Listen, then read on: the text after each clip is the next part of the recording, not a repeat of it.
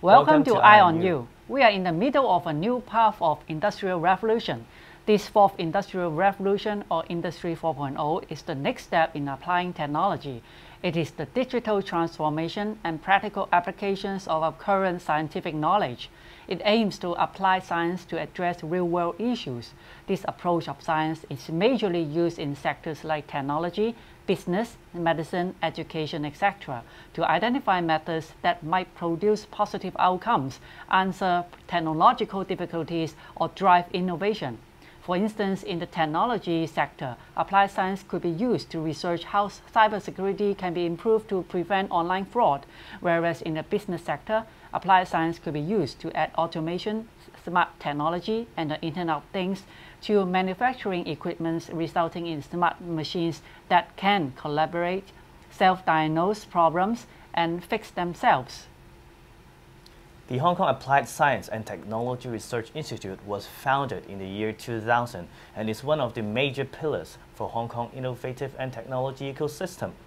It has been empowering many tech companies, startups, large enterprises, and SMEs on applying technologies to solve problems from fintech to metaverse, from cybersecurity to IC. In addition, the ASTRI has built a rich portfolio of intellectual properties and nurtured many talented researchers for various industries and sectors. In short, as the largest government-funded applied R&D institute in Hong Kong, the ASTRI possessed a strong track record of commercializing innovative technological solutions. Today, we are grateful to invite Dr. Denis Yip, the CEO of ASTRI, to talk about his vision on applied science in Hong Kong and how Hong Kong's tech industry can seize the emerging opportunity in the Greater Bay Area by applying science and technologies. Hello, Dennis. Welcome to our show today. Thank Welcome you. to our show. So, um, as we know that the Hong Kong Applied Science and Technology Research Institute was founded in year 2000 and is one of the major pillars for Hong Kong innovation and technology ecosystem. So can you tell us what is the aim of the, of your, of the institute? It was set up 22 years ago by uh, then CE uh, Dong Kim And basically the mission is the word apply. So. Applied Science and Technology Research Institute is one of the institutes that want the technology not just on the upstream research, but actually from upstream to midstream and then apply the technology so that the whole city and also impacting the globe, including GBA and the Belt and Road, to really get the technology rolling. Mm -hmm. Right, so the notion of applied science and technology seems very abstract to many people. Many people do not know what that is. So um, for the developments that you have created uh, and ASTRI have created, how can it bring about better lives in our, um, for example, for our Hong Kong people? Actually, uh, it probably would be easiest to uh, illustrate a few examples. Uh, we actually have algorithm, but when I talk about algorithm, um, a lot of people don't know what that is.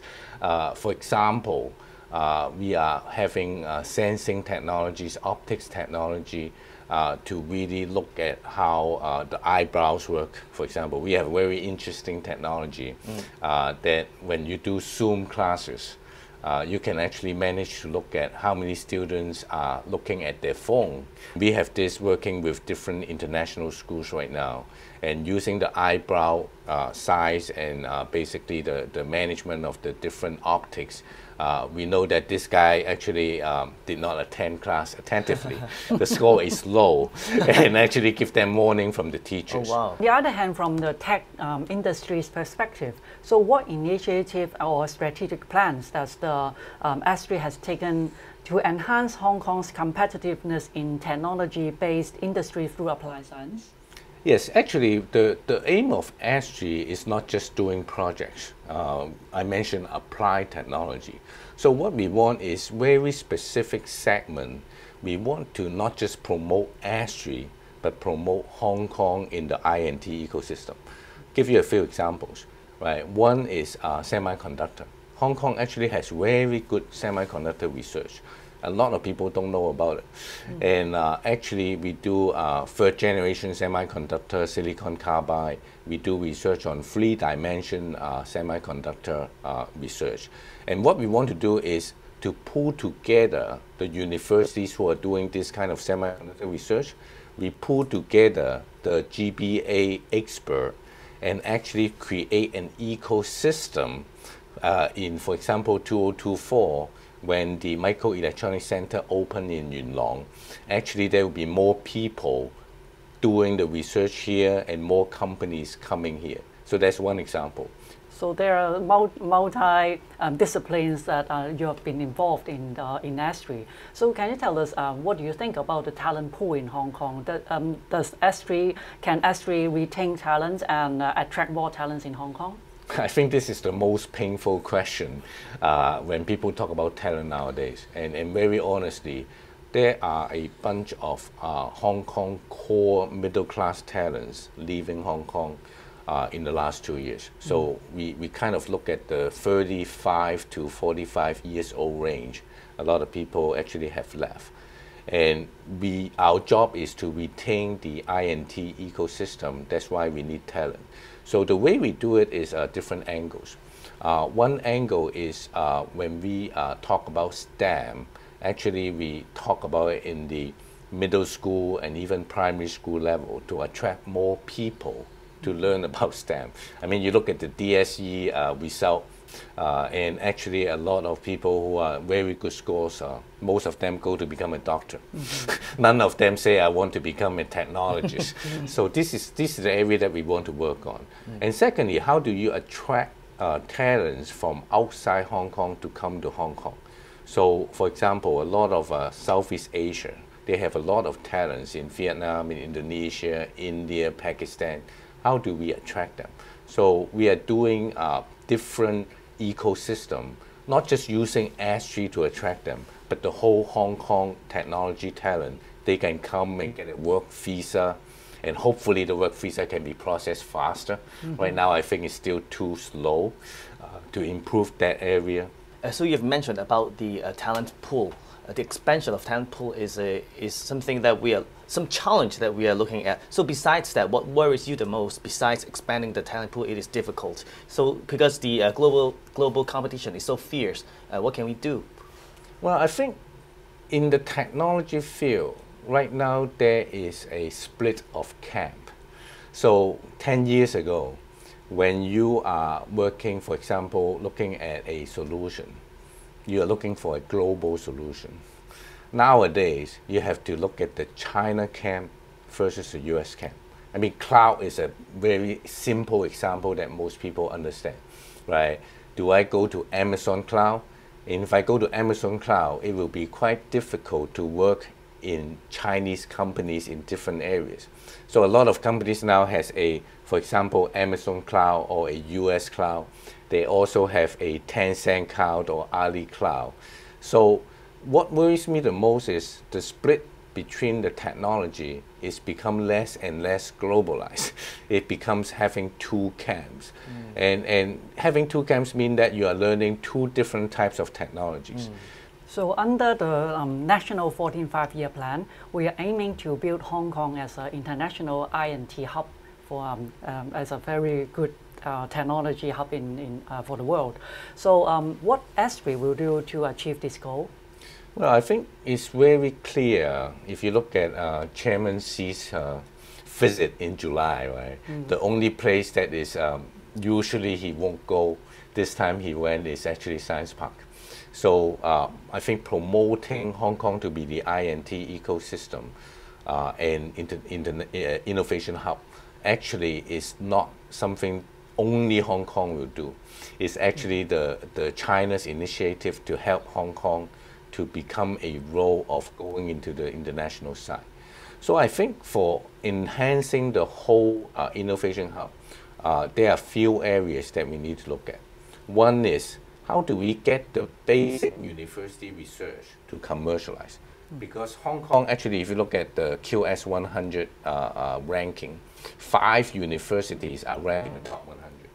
But uh, I think there is an improvement that can be made uh, to look at those researchers in the Hong Kong top universities to apply to help Hong Kong, help GBA, so that Hong Kong becomes the innovation hub. Secondly, is actually talent, which we just mentioned. And then thirdly is actually how do we build an ecosystem, uh, what we call, what the government policy is, what the university research are, what are the research institutes that can match, and then how do you match with what we call commercialization, how the companies use it. If these four areas can be interconnected and make it more positive, I think Hong Kong will definitely be able to become the big innovation hub uh, of the world. Mm. Mentioning about the GBA, the um, Greater Bay Area, uh, how do you envision the development of uh, applied science and technology in the Greater Bay Area, and how can ASTRI contribute to this development? It's a very good question. Actually, ASTRI uh, has about 70 people in Shenzhen right now. And uh, these 70 people, actually, we will be probably doubling that soon. Uh, we are working with Futian government, and Futian government is actually working with us on different projects. And they're actually using also the uh, Greater Bay Area Uni University, like the SUST, to have PhD students working on our projects. And, and my belief is the Hong Kong technology side has a lot to learn from what Shenzhen has. Because when you use a technology in Hong Kong, the most you can use is uh, 7 million people using it. And that is not enough to become a unicorn. If you look at the Hong Kong 12 to 18 unicorns right now, they become unicorn not because they are having revenue in Hong Kong. They become unicorns because they are having big revenue either in mainland or in outside China on the overseas areas. So I think to really cultivate this, uh, when you look at the Hong Kong and GBA connection on technology, we need to work more closer together, and also we need to have an exchange in talent.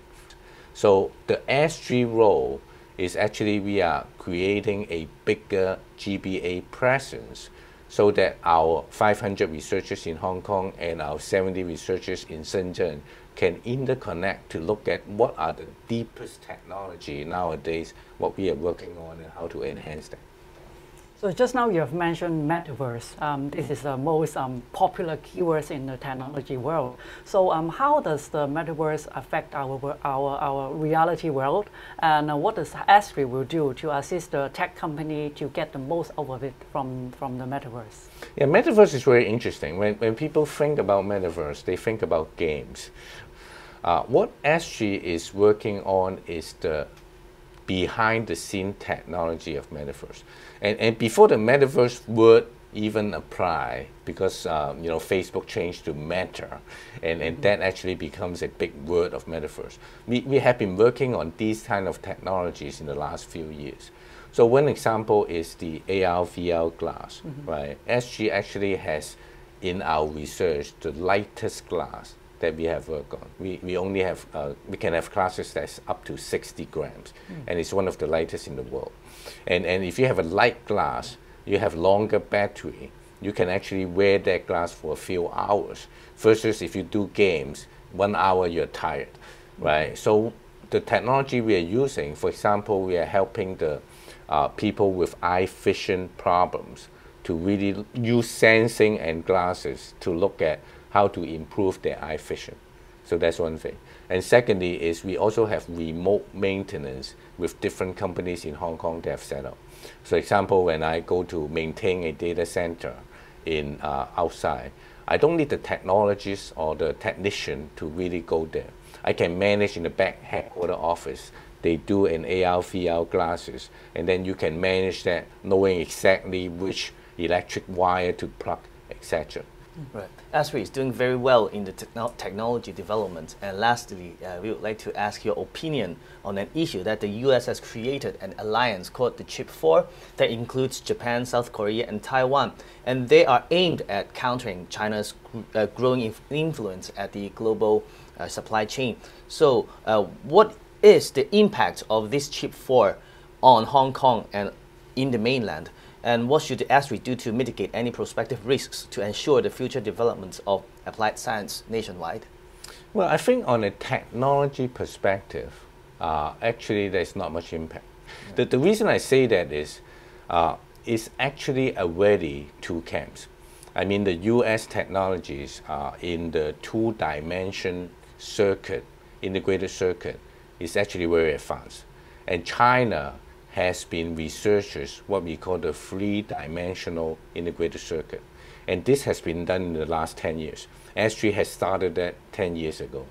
And um, of course, the, the whole scheme is that to beat Moore's law.